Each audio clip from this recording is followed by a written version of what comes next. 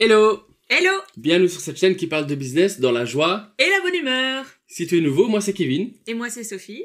Et ensemble, on a développé la Happy Up Academy. Qu'est-ce que c'est la Happy Up Academy? Pour faire simple, c'est l'académie business qui te propulse sur le web. Alors si le sujet te plaît, n'hésite pas à liker, à t'abonner à cette chaîne. Et si tu as la moindre question, ça se passe juste en dessous. On te dit Merci. Alors, reste bien jusqu'à la fin de cette vidéo parce que à la fin, on va faire un petit tuto avec notre ami Chat GPT 3 actuellement. Oui, pour nous aider à fixer nos objectifs 2023. Comme ça, on a une petite aide, un petit coup de pouce. Yes. Ça y est, on est en début d'année. Bonne année. Bonne année. Bonne année. Euh, bonne année à toi, du coup également. Et comment commencer l'année avec, euh, soit on pouvait parler de résolution, euh, mais nous on voulait pas ça parce que ça au final on le fait entre nous, entre amis, en famille ou autre. Ici on va parler d'objectifs parce qu'on est quand même en business. Et comment mettre, faire en sorte de ne pas laisser ses projets dans le fond d'un tiroir. Hein. Ouais. C'est toujours ça un peu qu'on se dit en fin d'année, on se dit mince, je voulais faire ça, je voulais faire ça, je voulais faire ça. On est optimiste et on met plein de bons objectifs et puis hop, tiroir, envoyé, c'est pesé. Ouais. Hashtag j'ai une liste de to-do de 50 choses à faire, que finalement j'en fais euh, quasi aucune.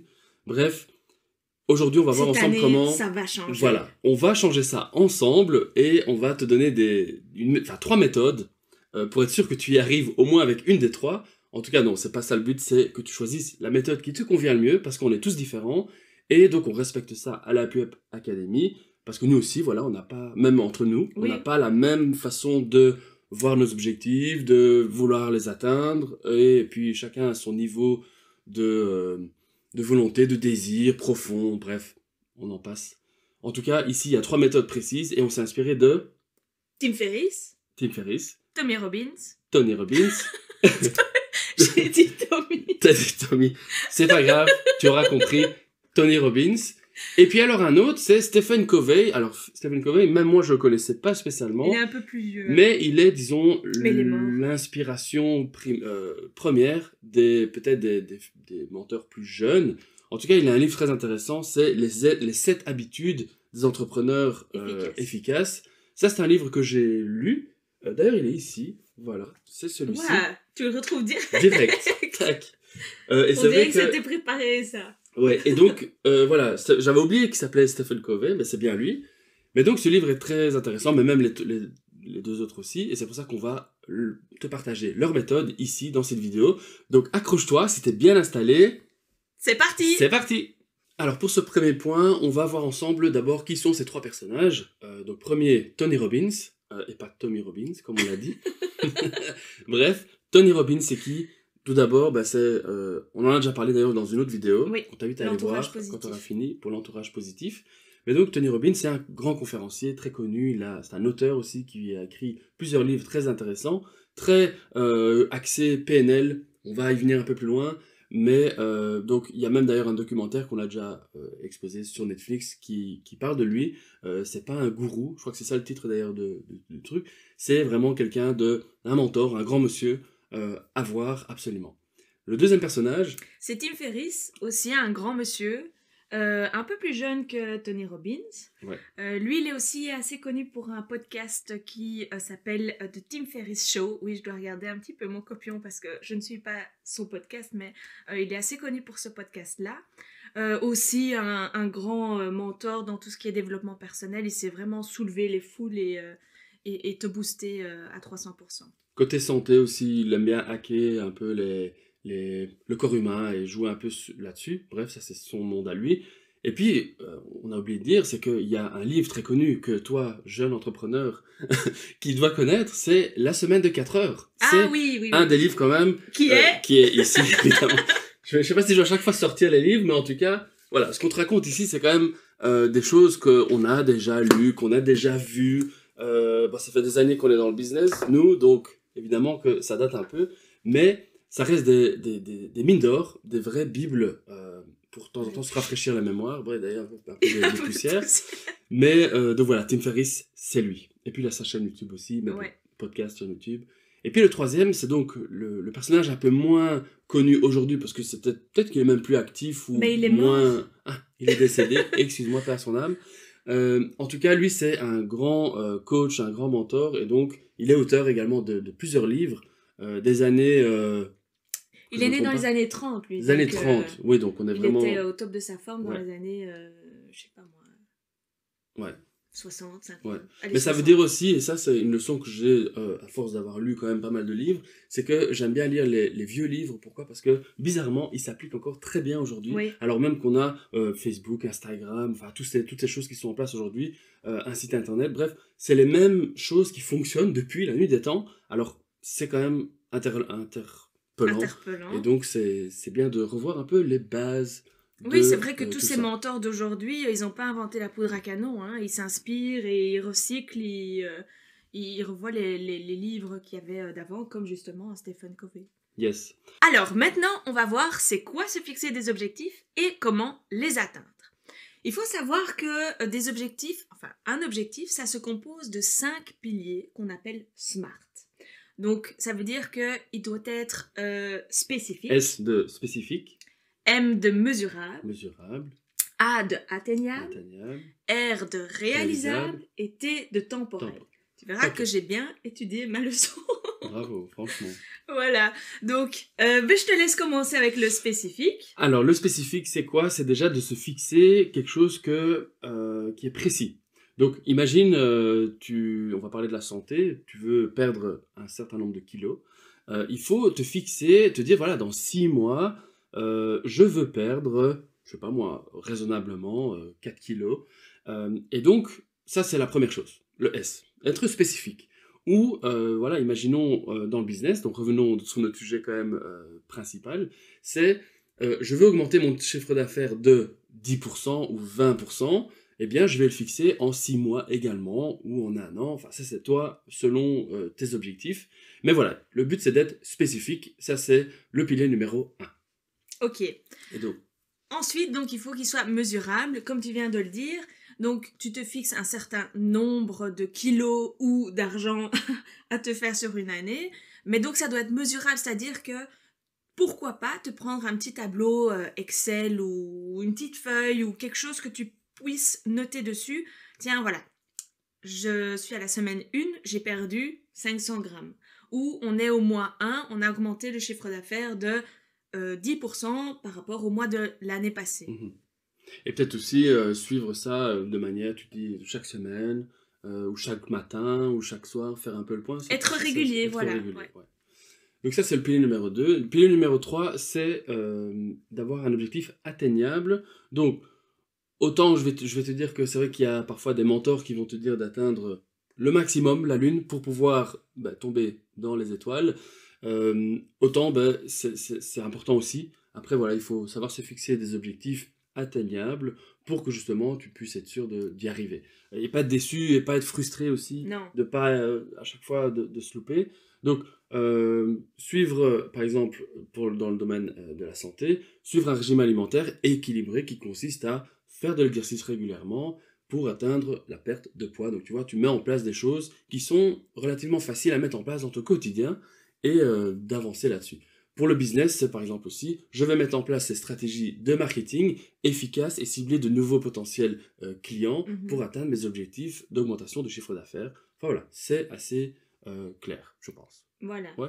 Alors, le pilier euh, réalisable, donc le R, ça, il faut vraiment que ce soit des objectifs qui soient réalisables, tout à fait. Mais, par exemple, si tu crées, euh, si, si c'est pour justement euh, perdre du poids, est-ce que tu as assez de temps dans ton planning pour faire du sport? Est-ce que tu mets tout en place pour, quand tu fais tes courses, que tu prennes des bons aliments? Tout simplement. Mhm. Euh, pour l'objectif business, donc toujours pour ce chiffre d'affaires qu'on va atteindre de 10% en plus, est-ce que tu vas mettre des stratégies spécifiques pour créer soit un nouveau produit, améliorer ton produit pour atteindre ces 10% Donc il faut qu'il soit réalisable. Yes. Et le dernier pilier, le- l'espace-temps, le côté temporel Oui. de, cette- de ton objectif, c'est de te fixer à une certaine date euh, limite. Donc ça peut être début d'année, fin d'année, mais nous on aime bien travailler par trimestre. Euh, et d'ailleurs, c'est souvent au bout du premier, de chaque trimestre qu'on se félicite et qu'on essaie de faire quelque chose d'original, ça peut être un petit voyage, ça peut être euh, une soirée, ça peut être juste un, un verre autour d'une table. Euh, et voilà, ça, c'est propre à nous. Hein. Oui. C'est ça. hein. Et, euh, mais donc voilà, il faut que ce soit temporel euh, et précis. temporel et précis. Donc, à partir du moment où on sait, dans un mois, je vais arriver à tel, euh, tel chiffre d'affaires, je sais que du coup, je divise ça en quatre semaines. Et du coup, pour ces quatre semaines, je vais mettre tout en place, des petites tâches pour arriver à atteindre cet objectif temporel que je me suis fixé à la fin du mois. Voilà. Et donc, on va résumer donc les trois caractéristiques. Résumons, résumons, résumons. Pour faire simple, euh, trois choses à retenir, c'est concret. d'être concret, Donc, il faut que ces, ces objectifs soient vraiment concrets et précis. précis, stratégique, Oui. et le dernier, je vais lire ma... mes notes, à ma portée. Donc tout simplement, euh, pas aller trop haut non plus, ou peut-être sur 5-6 objectifs, en avoir un vraiment exceptionnel, Voilà, et ouais. puis les autres un peu plus... euh, Oui, parce que parfois, quand on dit euh, quand tu vises la lune, t'es sûr Bah d'atterrir dans les étoiles. Exactement. Alors, ok, c'est bien beau de se fixer euh, des objectifs, mais pourquoi? Pourquoi est-ce que on, on a envie de, euh, comme ça, se fixer des objectifs? Et quel est vraiment l'intérêt? Euh, Tu peux peut-être te dire, tu es peut-être assis à, à nous regarder, ou peut-être que tu fais du sport en nous regardant, je sais pas. Mais en tout cas, voilà, on n'est pas tous amenés à vouloir absolument mettre des objectifs dans son quotidien ou dans des- de ce qu'on a envie de réaliser. Mais il y a quand même des avantages qui sont euh, ben, très réalistes, très, euh, je veux dire, quand, tant qu'on l'a pas essayé, on peut pas s'en rendre compte. Mais on va en parler de quatre. Et donc le premier avantage, c'est d'avoir une vision. Et, et la vision, c'est intéressant parce que quand on voit euh, vers où on veut aller, tout simplement, tu sais, c'est comme les pirates, ils regardent dans leur longue vue, on, on- on regarde l'île qu'on veut approcher, Oui. et quand on commence à voir l'île et que le bateau s'approche, bah, tout doucement, on sait que on, on va vers là, quoi. On Voilà. va vers là. Ah, c'est c'est poétique, hein. T'es poétique ce matin. Merci, merci. Alors, la deuxi- le deuxième avantage euh, qu'on qu'on a trouvé, mais bon, il y en a, il y en a sûrement plein, Sûrement, plein d'autres. sûrement. Ah hein. oui, on n'est pas- toi en commentaire. Aide-nous, pour, hein, euh, ouais. Continuons la conversation. Euh, donc, euh, selon nous, le deuxième avantage, c'est la passion. Donc, déjà, avoir des objectifs, c'est une, une forme de motivation. C'est de voir, voilà, c'est ça que j'ai devant moi, c'est ça, c'est vers là où je veux aller. Et donc, je vais mettre tout en œuvre pour y, pour y arriver. Et on peut, euh, ça peut donner un, un sens un peu plus profond aussi à sa vie, de savoir vers où on veut aller et qu'est-ce qu'on veut faire. Avantage numéro 3, c'est euh, pour la productivité. Et donc, le fait d'avoir euh, des objectifs, tu vas automatiquement être plus efficace, tu vas vouloir gagner du temps, tu vas vouloir t'organiser comme il faut, mettre à jour ton planning, essayer de faire en sorte de d'être le plus eff- efficace possible et pas se dire, bah, tiens, dans six mois, ah, j'ai pas vu, euh, j'ai oublié mon- mes objectifs. Et euh, d'ailleurs, nous, ici, on, on- on les attache, nos objectifs sont, sont On là, les attache.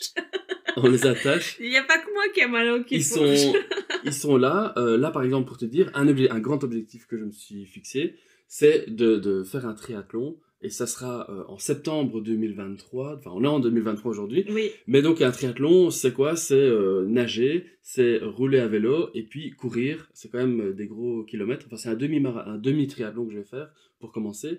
C'est pas euh, le truc où je suis naturellement à l'aise avec ça, mais j'ai envie de me, me, me challenger. Et donc, évidemment, que tout ça, bah, sachant ça en septembre, je vais euh, tout doucement euh, mettre ça dans mon planning. C'est déjà mis, mais je vais mettre dans mon planning et m'organiser pour être productif, m'entraîner, faire euh, du sport euh, dans la piscine, du sport à Voilà. vélo et du sport. t'entourer d'un coach, ça. mettre tout en place. pour mettre tout en place pour être le plus productif possible.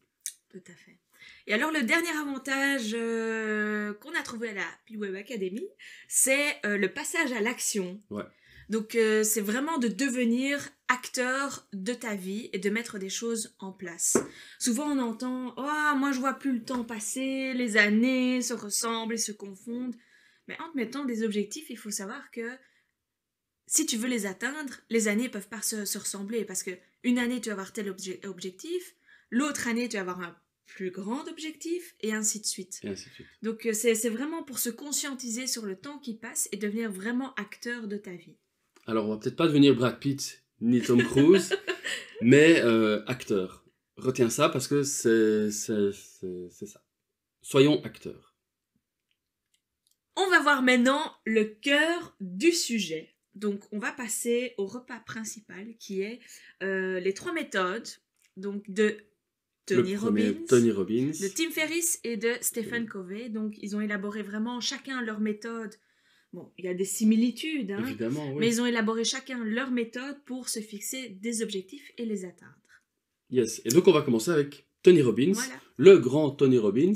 Euh, donc, lui, c'est quoi? C'est euh, les principes, c'est quoi? C'est de euh, on, on parle assez vite de visualisation. Alors, ça peut être flou euh, pour toi, mais la visu- visualisation, c'est quoi? C'est c'est se dire j'ai un objectif à atteindre et je vais y penser euh, tous les jours. Mais vraiment, genre, euh, tous les jours, tous les jours, tous les jours. Se libérer un petit espace-temps en fin de journée, en début de Ouais. journée pour. euh, pour mettre pour caser cette, cette euh, séance de visualisation parce qu'on parle de PNL également donc lui c'est quoi? C'est PNL c'est quoi? C'est Programmation. programmation neurolinguistique donc ça passe vraiment avec le cerveau parce que atteindre des objectifs c'est reprogrammer son cerveau pour vraiment faire fonctionner euh, nos réflexes notre réflexion vers un objectif qu'on s'est fixé donc c'est tout le travail ici C'est simple, si tu te visualises tous les jours en tant que, je sais pas moi, euh, vainqueur, euh, euh, que tu réussis ton triathlon. ouais Si tu te visualises tous les jours, tous les jours, tous les jours, tu envoies en fait à ton cerveau que tu vas réussir ce triathlon. Et lui, en fait, un petit peu, il va pas faire la différence entre le fait que tu réussis pas ou que tu réussisses. Mhm. J'espère que je m'exprime. Non, oui, le, le cerveau va, te, va se dire, ben, c'est arrivé. Voilà. Parce que le cerveau, rien que de le fait de le penser tellement fort, au final, on se dit, on y arrive. Oui. Et puis ça se passe. Et voilà, le cerveau, il est super fort et c'est pas faire aussi la différence entre la négation. Donc je Ouais. vais te dire, ne pense pas à un éléphant rose. Et on va penser à un éléphant rose. D'ailleurs, tu as pensé, on est sûr que tu as pensé à un éléphant rose. Voilà. ok, tu as compris. Mais donc, c'est pas fait pour tout le monde. Donc, quels sont les avantages d'utiliser cette voilà. méthode? C'est pour que toi. C'est Si. c'est pour toi. Si tu veux te concrétiser, tu veux le dire, toi? Non, vas-y, vas-y, vas-y. Donc, avantage numéro un, c'est te concentrer sur ce que tu veux vraiment dans la vie. Donc, première chose, et ce qui te motive. Euh, deuxième avantage, c'est une méthode concrète pour atteindre tes objectifs en te proposant une étape précise à suivre. Et puis, l'avantage numéro 3, c'est d'adopter une attitude positive. Donc, pense positif ou pense à ton objectif et tu vas atteindre ton Ouais. objectif Et déterminé. et déterminé. Donc c'est j'y vais à fond. Et donc il y a cinq étapes pour euh, y arriver. Alors qu'est-ce qu'on fait? On, on le dit ou on, on dit d'aller retrouver l'article de blog? Bah, je dirais l'article de blog. Elles sont toutes bien détaillées. euh, Voilà. Donc si cette méthode t'intéresse, mais attends de voir peut-être les deux autres euh, méthodes. Reste mais avec nous. reste avec nous. le lien se trouve en dessous de la vidéo. Donc tu mets ça en, en deuxième onglet. Ah oui, voilà. Euh, et puis tu, tu, tu iras voir tout de suite. Mais donc tu vas retrouver exactement les étapes de mise en action pour que tu passes à l'action. On a, on a parlé des acteurs euh, là tout de suite. Le but c'est de passer à l'action et d'être acteur de tes objectifs. Donc attends encore un peu, mais ton onglet est prêt. Deuxième méthode. La deuxième méthode, donc, c'est celle de Tim Ferriss. Donc, Tim Ferriss, il pense un petit peu autrement. Donc, lui, c'est, euh, il, a, il a un mot bien spécifique, c'est le reverse engineering. Donc, c'est l'ingénierie inversée. Inversé. Donc, selon lui, tu te fixes ton objectif. Tu dis, voilà, dans un an, le 31 janvier 2023, je veux avoir perdu 10 kilos. Ouais. À partir de cette date-là, je vais revenir en arrière et donc je vais me dire, voilà, euh, au mois de décembre, je vais faire ça. Au mois de novembre, je vais faire ça. Au mois d'octobre, je vais faire ça. Ouais. Au mois de- Et donc lui, il fait vraiment le, le processus inversé. Je veux arriver là, qu'est-ce que je vais faire pour, Pour y arriver. y arriver de cette date-là jusqu'à maintenant? Pareil pour. euh, Moi, j'aime assez tout. bien cette technique. Ouais, voilà. Je c'est- trouve, voilà, tu, tu, tu vois ton objectif et donc tu ramènes jusqu'à maintenant qu'est-ce que tu dois tout faire pour, euh, pour y arriver? Ouais. Mais donc, il faut, il faut avoir un petit peu un esprit un peu quand même cartésien de euh, savoir diviser, de savoir un petit peu mettre tout ça en, en œuvre. Ouais. Et donc, cette méthode, elle est pour toi si euh, tu euh, aimes définir tes objectifs de manière précise et claire et euh, mesurée, justement. Si tu veux avoir une vision claire et, et structurée de chacun de, des mois que tu vas passer jusqu'à cet objectif. Et enfin, si tu aimes trouver des solutions originales pour y arriver et les atteindre. Ça veut dire aussi sortir un peu des sentiers battus euh, et pas avoir peur de de, de pas écouter le, le bruit extérieur, de vraiment faire ce qui toi te parle, ce que ta petite voix te dit de faire et donc de l'appliquer. Voilà, tout Voilà. à fait. C'est une petite anecdote, juste pour faire euh, un lien avec euh, d'autres personnes, d'autres grandes personnes qu'on a déjà abordées dans d'autres vidéos. Oui. Donc Elon Musk, oui. lui, on- donc il, il parle pas spécifiquement d'objectifs, mais quand on voit où il est arrivé, à mon avis, il a appliqué tout ça, Oui, à mon avis, il n'a pas aussi. fait ça à la one again. Mais lui, ce que j'aimais bien, c'est que quand il veut apprendre quelque chose, euh, c'est, il, il prend le résultat, donc euh, il met un moteur euh, de voiture sur la table et il commence à démonter tout. Donc c'est un peu à la méthode Tim Ferriss, c'est pour ça que j'en parle. Il démonte tout et tout doucement, alors il comprend comment chaque élément fonctionne. Et donc voilà, on peut faire. Et il appelle ça aussi de l'ingénierie inversée. Et c'est une méthode personnellement où j'ai aussi utilisé pour moi apprendre euh, à créer des sites web. C'était euh, voilà, voilà un site, débrouille-toi, décortiquer tout. Hmm. Donc euh, voilà, à voir. Petite parenthèse. Merci pour l'info. voilà. Toujours ce Elon Musk qui revient sur le Ah plateau. oui, oui, oui. Donc maintenant, on va parler de la troisième méthode de notre vieil ami. Vieil ami. Paix à son paix âme. à son âme. Stephen Covey. Mais donc, euh, lui, qu'est-ce qui, euh, quelles sont ses, sa spécificité? C'est le côté des sept euh, Cette habitude. habitudes à mettre en place dans son quotidien pour justement atteindre ses objectifs plus facilement, plus sereinement aussi, Oui. euh, et aligné avec euh, bah, notre façon de faire, notre façon de penser, etc. Et pas être dépassé trop vite par des objectifs trop, trop fous. En fait, il, il- envisage de fixer ses objectifs sous cette habitudes. cette pôle. Exactement. Ouais. Euh, donc, c'est pas se fixer un gros objectif, c'est vraiment par pôle se fixer un objectif et ça crée en fait un écosystème d'objectifs pour être euh, bien sous tous ces rapports, on va dire. C'est bien expliqué. Et- C'est beaucoup mieux Et expliqué. on que pourrait peut-être au moins citer ces sept Oui, pôles. euh, Tout à fait. Donc, euh, pôle 1, C'est euh, la proactivité, donc c'est se fixer des objectifs personnels et professionnels à long terme. Donc c'est voilà, c'est- voir loin, c'est un petit peu voilà l'objectif basique on va dire. Ouais. Deuxième pôle, c'est euh, la priorité, donc savoir dire non, essayer de prioriser des choses qui sont importantes pour atteindre tes, obje- tes objectifs. Donc ça, c'est le pôle numéro 2. Et dire non à ce qui euh, aux, obje- aux, aux priorités qui ne vont pas te faire atteindre tes objectifs. Voilà. La deuxième c'est la productivité, donc c'est euh, mettre en place. Troisième. ou pardon, troisième. C'est pas grave. Euh, donc le troisième pôle, c'est la productivité. Donc c'est utiliser, mettre en place euh, des outils ou la gestion du temps ou s'entourer. En tout cas, mettre en place toute une série d'actions pour euh, optimiser son temps. Yes. Et la, le cinquième, le quatrième pôle, pardon, on va y arriver, attention, il y en a sept, on est au 4. c'est la communauté, donc là, c'est essayer d'avoir un entourage propice à atteindre tes objectifs et faire en sorte que les personnes qui t'entourent, les personnes avec qui tu, tu, tu travailles ou quoi, ben, euh, sont favorables à, à ce que tu arrives et, et viennent pas te mettre des bâtons dans les roues, euh, parfois, c'est pas arrivé.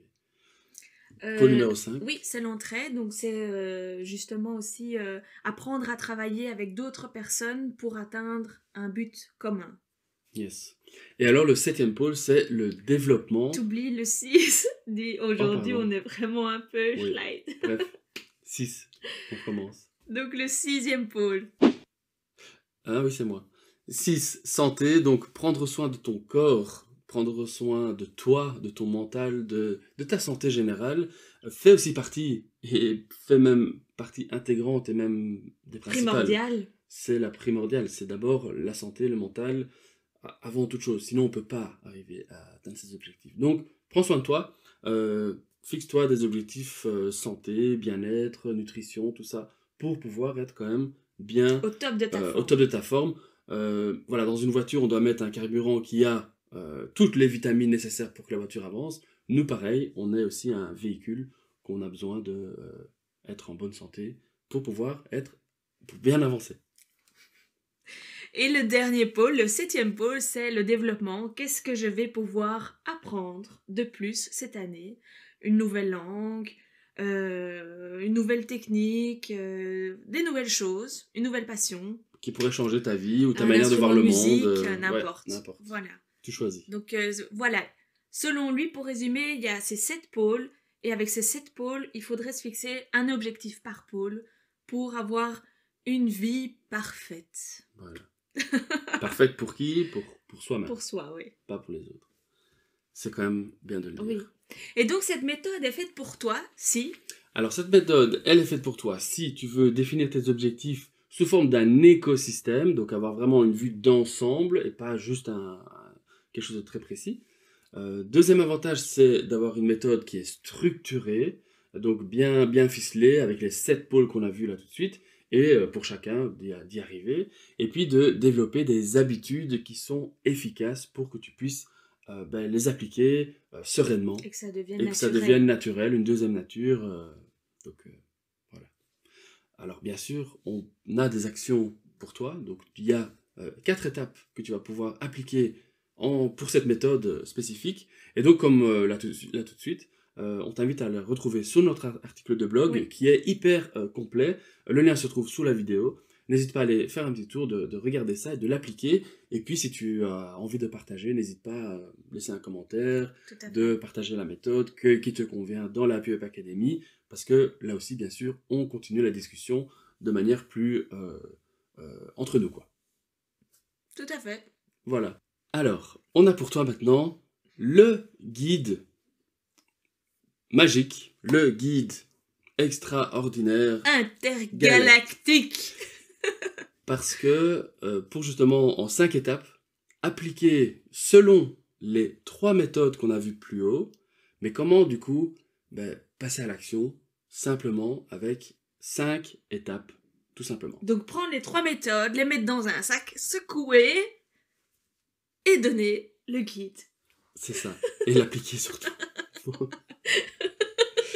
Étape numéro 1. Tu veux y aller? Euh, vas-y. Honneur aux hommes. Honneur aux hommes, cette fois-ci.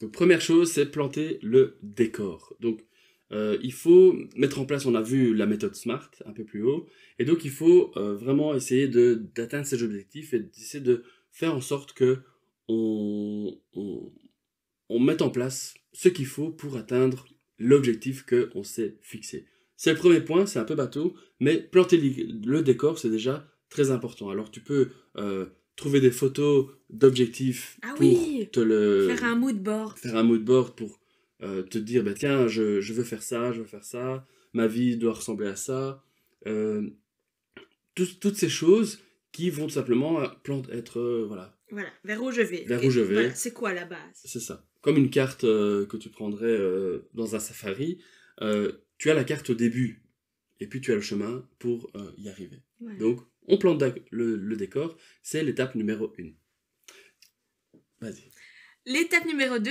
c'est voir un petit peu plus loin que prévu.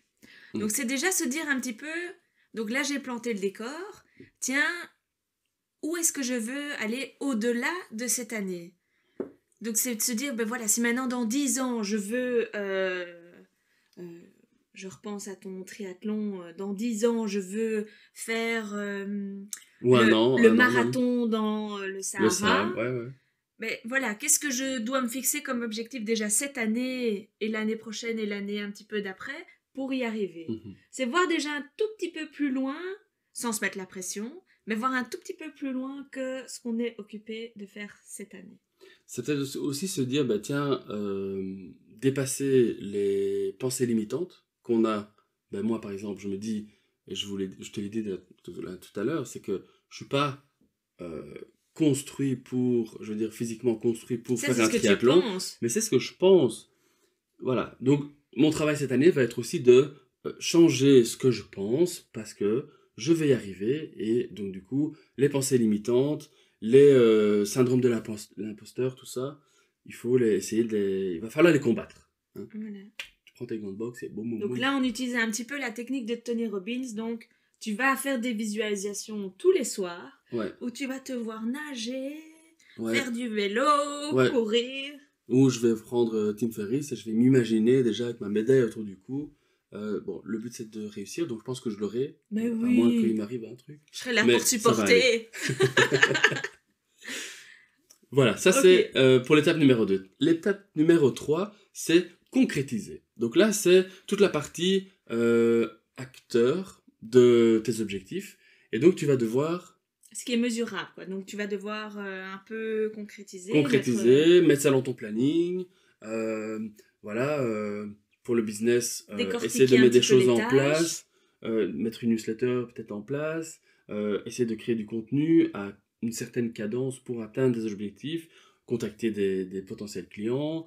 euh, et pour le sport, ben, ce serait de nager euh, le mardi. Enfin, je crois que tu as compris, mais c'est donc concrétiser vraiment, appliquer ce que tu as réfléchi, euh, mis sur papier euh, et euh, appliqué. Bah, là, tu prends ta carte, tu Voilà. la divises en 12 mois, Ouais. puis en 4 semaines, puis en 30 jours.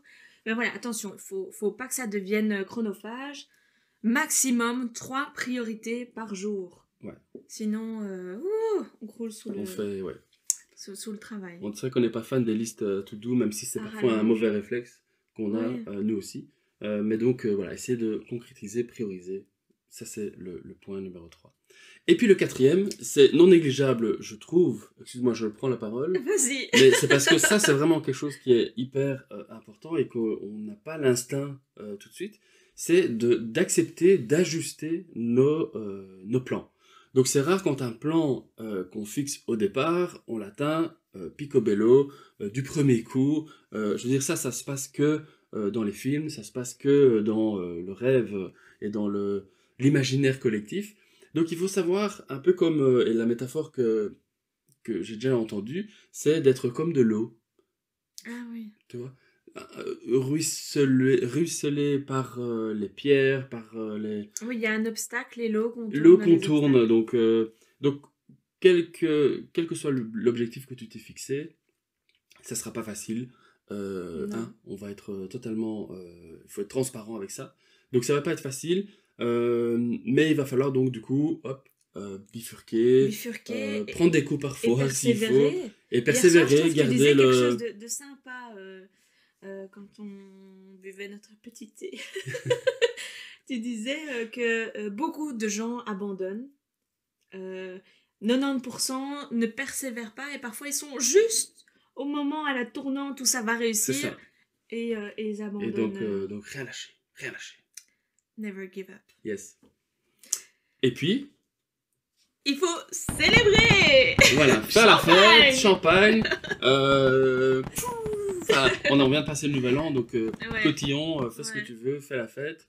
Euh, mais il faut célébrer à ta manière, euh, quelle que soit la victoire. Il faut célébrer Il faut- chaque victoire, aussi petite soit-elle. Voilà. Et je pense que c'est important aussi pour, le, pour envoyer des signaux au cerveau Ouais. de positif, parce que voilà, on s'est fixé un objectif, c'était dur, mais on a fait une petite réussite, donc on peut la fêter. Ouais. Et c'est un, un vrai moteur, c'est une motivation, la reconnaissance, euh, Ça nous chouette. permet d'avancer. Ouais. Alors, on va maintenant passer aux 10 questions à te poser euh, pour t'aider à faire le point pour euh, fixer tes objectifs en 2023 et faire un petit peu cogiter ton joli petit cerveau. Et donc, même chose que chaque semaine, on va pas les citer toutes, Ouais. mais on va en piocher quelques-unes pour, euh, pour déjà un petit peu faire travailler tes ménages. Je te laisse piocher la première. Ok, merci. Alors, à moi le micro. Donc, d'abord, première question, c'est qu'est-ce qui te motive dans la vie? Voilà. Voilà, tout simplement. Donc, on te laisse le temps de... Qu'est-ce qui de éveille réfléchir. ton esprit la nuit et qui t'empêche de te rendormir et que tu as envie de dire Ouah, allez, j'y vais Voilà. maintenant, je, je me lève, je prends une feuille de papier. Et, Parce qu'on est tous différents. Parce qu'on est tous différents. C'est vraiment toi. Toi, tu te mets dans ta tête, tu fermes les yeux, tu dis qu'est-ce que tu as envie d'atteindre? C'est aussi simple que ça. Voilà. Alors, ma petite question, je vais piocher la numéro 7. Comment peux-tu développer de nouvelles compétences et t'entourer de personnes qui te soutiendront dans ta quête de réussite? Donc, développer de nouvelles compétences, même si tu as une passion ou que tu connais très bien une technique, on n'est jamais vieux que pour... euh, on n'est jamais assez vieux que Ou trop vieux. ou trop vieux. On n'est jamais trop vieux que pour apprendre. On apprend chaque jour. À partir du moment où tu te dis euh, c'est bon, j'ai euh, je sais pas moi 60 ans et j'ai plus rien à apprendre, c'est que tu es en plein déclin. Donc jusque la, La fin, fin. il faut, il faut te fixer des objectifs d'apprentissage euh, chaque année pour apprendre toujours une nouvelle chose et éveiller ton esprit. Yes. Euh, c'est une chouette question, j'aime beaucoup. Euh, question numéro, euh, je suis obligé de, prendre, de passer à la 8 maintenant? Non, je peux me remonter un tout petit peu. veux. Je fais ce que Tu fais veux. ce que tu veux. Ah, merci, merci. Alors, question numéro 4. 4, euh, je suis né à 4, mais Ah, tu sais, c'est peut-être la c'est bonne. peut-être pour ça que j'ai choisi la question. Alors, qu'est-ce qui te tient éveillé la nuit Ah, ben voilà. et comment peux-tu le transformer en objectif concret? Bon, ça rejoint la question, Un donc je peu, reprends une autre. Le 5. Question numéro 5. Qu'est-ce qui te fait peur et comment peux-tu te confronter à tes peurs pour atteindre tes objectifs? Donc ça, c'est un peu le, le côté... euh, euh, ça va être difficile, donc il y a une petite voix intérieure qui va te dire Tu n'y arriveras pas. j'y arriverai pas, ou euh, j'ai peur, ou je suis pas... euh, Enfin, le syndrome de l'imposteur sera là aussi.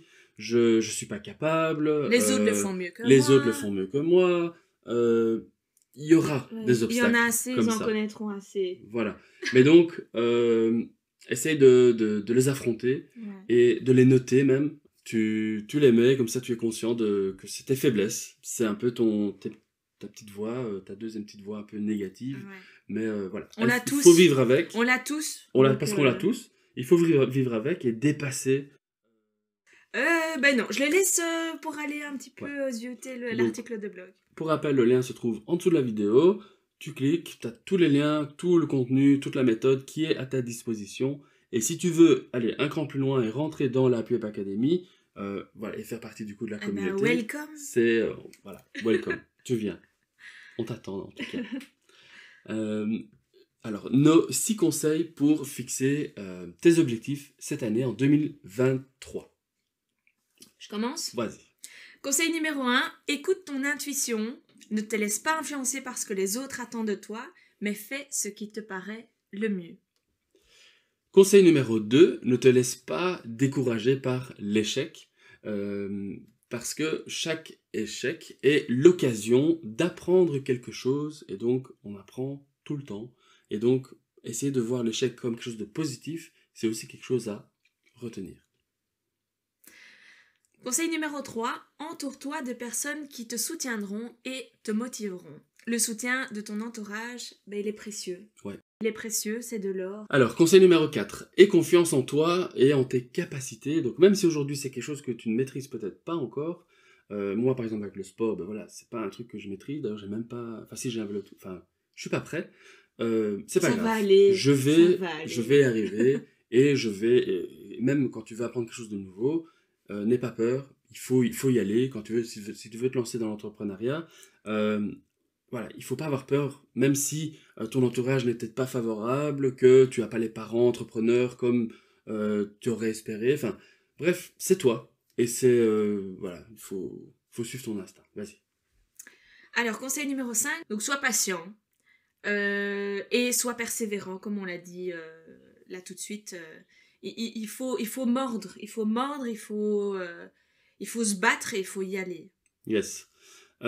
Conseil numéro 6, c'est prends soin, prends du temps pour toi. Donc, de nouveau, dire non aux autres, dire non à ce qui n'est pas ta priorité, pas avoir peur de le dire, pas avoir peur de le faire. De... Voilà, c'est plus facile à dire qu'à faire, mais une fois qu'on commence, c'est très facile. Ça devient de plus en plus euh, normal de, de mettre ses priorités vers nous. Euh, ça peut paraître un peu égoïste, hein, mais au final, c'est voilà, ce qui compte, c'est toi. Euh, et euh, bien sûr, ton entourage proche, bah, il doit graviter autour de toi aussi, mais c'est toi avant, avant, avant tout. Mhm. Ouais. Tout à fait. Et alors, tu as encore un, parce que ne pars pas, il y a encore un dernier, un dernier, un dernier petit conseil, et ça, je vais laisser euh, Sophie euh, le dire, je t'en prie. Alors, le, le dernier petit tips de. Excuse-moi, je te coupe, mais juste pour te dire, parce qu'on doit quand même le dire que si tu es ici encore euh, avec nous, Ah oui, merci. On te remercie vraiment d'avance euh, et, et énormément parce que c'est du contenu qui est lourd peut-être, Lourd, allez, en tout cas conséquent. conséquent, mais c'est des choses que tu peux appliquer et qui peuvent vraiment changer ta vie totalement. Oui, en Et tout cas, on peu- l'espère. De, et de c'est tout ça cœur, qu'on- on l'espère voilà. qu'on pourra impacter un petit peu. On En tant espère. soit peu. Même si c'est un tout petit peu, Ouais. nous on est déjà contents.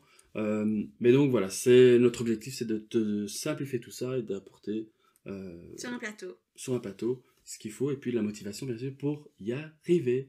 Donc, je t'ai coupé, Mon mais tu tips. peux, je te laisse terminer maintenant. Alors le dernier petit tips, euh, quand on, fait ces objectifs annuels, on a tendance à se dire euh, Euh, qu'est-ce que je pourrais faire pour être la, meilleure version de moi-même? Mais il faut, se dire que se faire des objectifs, c'est déjà peut-être tout simplement se faire des petites tâches tous les jours au quotidien. Il faut pas se fixer des grands, des gros, des immenses objectifs pour changer parce qu'en général, c'est pas ceux-là qu'on suit. Mhm. On- n'y arrive pas spécialement. La meilleure question à se poser, c'est euh, qu'est-ce que je peux mettre en place, les petites choses que je peux mettre quotidiennement en place pour devenir un tant soit peu meilleur que hier. Hmm, c'est beau ça. Voilà. Un petit caillou après l'autre. Alors voilà, maintenant on va voir ensemble un tuto simple et rapide en utilisant ChatGPT dans ton business et donc en rapport avec le thème d'aujourd'hui qui est fixer tes objectifs en 2023. Donc on va te partager pour ça notre écran et nous voici donc sur ChatGPT et donc on a pour toi déjà écrit ce qu'il fallait donc c'est Hello ChatGPT Par exemple, par exemple. je suis coach spécialisé dans le bien-être au, au travail. Aide-moi à fixer mes objectifs 2003 sur base de la technique SMART. J'ai dit quoi? 2003. c'est pas Allez. Bref, c'est parti. On appuie sur le bouton, ensemble, c'est parti. Et en Faut plus, toujours être poli. Hein. Donc nous, on aime bien dire hello, chat GPT. Euh, c'est une machine à laquelle on peut parler, donc il faut pas hésiter à... et les polis aussi. Oui, voilà, regarde-moi, ça. Donc voici comment vous pouvez, euh, technique pour... Donc voilà, mesurable. Ouais, ben il va nous donner la... Exactement, spécifique, mesurable, atteignable, réalisable. C'est un et petit rappel d'abord de la théorie. Ouais. Et je pense qu'après, il va euh, te proposer quelque chose en plus. Non? Je crois qu'il va falloir le demander. Il va juste dire j'espère que ça vous a aidé. Voilà. Maintenant, encore une fois, c'est une machine, c'est une intelligence artificielle. Elle est là pour nous aider. C'est ça. Elle va pas te, tout te donner sur un petit plateau, mais elle peut te t'éveiller des petites idées euh, dans, voilà. dans ton cerveau. Et, et, et voilà. Maintenant, si tu veux lui demander plus, à toi de lui poser d'autres questions et, et il va te répondre. euh, Yes. Voilà pour le petit tuto ChatGPT pour ton business. Euh, donc voilà, merci d'avoir regardé cette vidéo Merci. jusqu'au bout. Euh, on se retrouve jeudi prochain pour un nouveau euh, contenu. Et donc n'hésite pas à aller voir l'article de blog qui est fait. hyper détaillé. Mais je crois que c'était dans son onglet à côté. hein. Ouais, c'est vrai, parce qu'on on l'a dit plus haut, c'est vrai. Mais, et alors, du coup, n'hésite pas à rentrer dans la Up Academy. Notre objectif, c'est vraiment de te propulser et propulser ton business euh, sur le web. Dans Donc, la joie pas, et la bonne humeur. dans la joie et la bonne humeur. Donc, n'hésite pas à euh, nous contacter une fois que tu es à l'intérieur. C'est très facile pour nous, nous avoir. On est en message privé et on peut Ouais, on euh, là. continuer la conversation. Euh, on le fera avec plaisir. Rendez-vous semaine prochaine. On a tout dit. On espère que ça t'a plu. À bientôt. Ciao. Ciao.